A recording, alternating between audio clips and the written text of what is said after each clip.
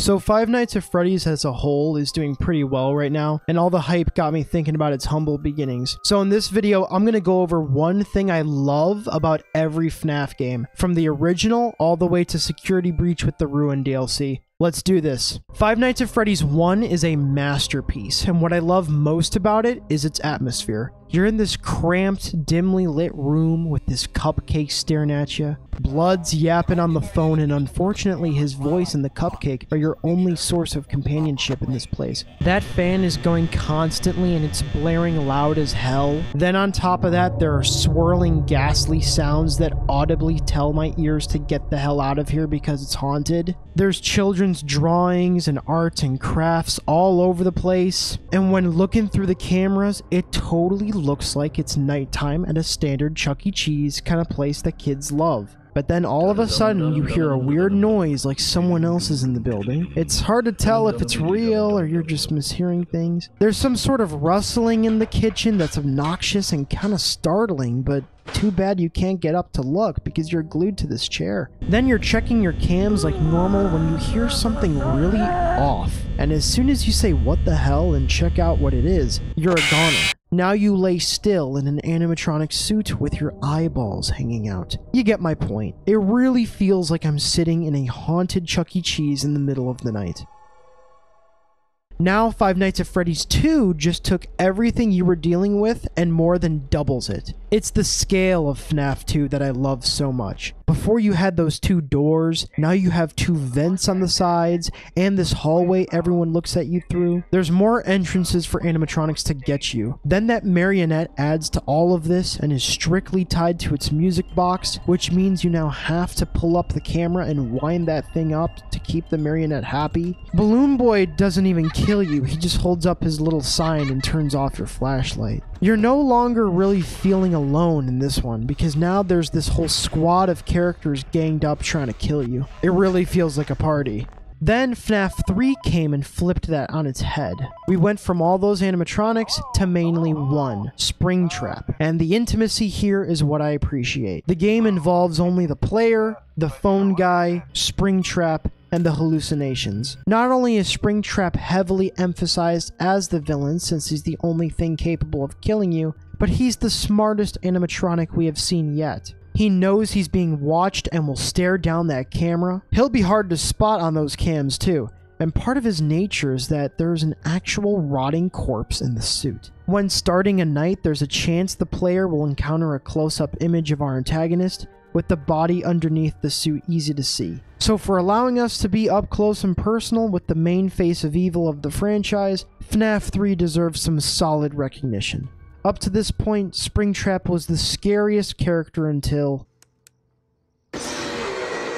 Five Nights at Freddy's 4 threw trying to be realistic out of the window and dove right into making the animatronics as scary as possible. They all have sharp teeth and certainly deserve the title of being the Nightmare animatronics. The atmosphere of this game adds to it as well, because we all have bedrooms, and the overall location being a standard looking home makes it a bit more relatable than the pizzeria locations. Also, I just want to say that I love the plush trap minigame. It was really great for training the ears and testing my bravery. Sister Location went a totally different direction with the series, and I think a lot of what it did was good. The game had a lot more to it than just sitting in an office for six hours. You would go down the elevator every night, actually make your way through this weird underground world. Then a few minutes later, you would be eating popcorn in front of the television or playing a minigame. It was super neat. The specific thing I love here, though, is the voice acting. There were a lot more voices here than the previous games, and hearing animatronics talk was pretty cool. Ballora is here, in the room with us. Ballora will not return to her stage.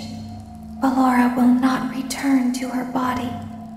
It made the characters that much more intimidating and interesting. Also, quick shout out to my boy Ennard. That guy is cool as hell. Very interesting character. But other than that, yeah, Sister Location was a solid installment, and the voice acting only made it more compelling. It's now the halfway point and we're looking at Pizzeria Simulator. I appreciate the actual build your own pizzeria part of it, but what I love is that the main gameplay is in that original format of you being stuck in a room with openings on each side, and that instead of surviving until time is up, you leave once all your tasks are done. So the tasks are on the computer and might be quick, like ordering cups, but others take way longer, such as unclogging toilets, which doesn't really make sense to do through the computer, but oh well. It's on your shoulders whether the night takes 12 minutes to complete or less, and that's a cool aspect of it. Ultimate Custom Night was a good one and felt like an ultimate experience with the amount of animatronics available. But Mr. Hippo's story was insane. So here, after a jump scare, a voice line would be heard from the animatronic that got you. But with Mr. Hippo, it's a little different. My friend, you have met a terrible, terrible demise. But, uh, you know, I, I don't feel too bad about it. After all, if if it weren't from me, it would have just been from someone else, you know? I guess what I'm trying to say is life life goes on. Well, well, from for everyone else, life goes on. Not not for you. You're you're dead. But that's neither here nor there. It reminds me of one summer day in the park. So yeah, Homie will just continue yapping, and it's a wonderful oddity. FNAF VR is arguably the best installment in the whole franchise, and a big part of it is the remastering of the old games. The original, along with 2 and 3, are back in this great new immersive format. The animatronics are as tall as basketball players, which adds to the fear, and it's all graphically fantastic. A nice touch as well is seeing actual movement on the cameras. The original cameras had the animatronics appear only as still images, so seeing them more lifelike on the new cams helps achieve the greater immersion. There's also the FNAF 4 Plush Trap experience in VR, along with many brand new levels only available here. I'm never to forget the first time I was fixing up Bonnie and seeing the animatronics so close up like that, and then months later they added the Halloween DLC and it just made it even more fantastic fantastic. Glitch Trap added to the immersion as well, with him waving next to you on the side when you're trying to pick your next level. Basically, FNAF VR has a lot of content, and I think its inclusion of the first three games was nice, for the sake of remembering the franchise's past, and for it including arguably the best versions of the original games. FNAF AR was a super unique installment, and the animatronics are the star of the show. I mean, in what other game would you see a Statue of Liberty Chica or Freddy Frostbear? There are so many of these wacky characters that aren't present anywhere else in the franchise.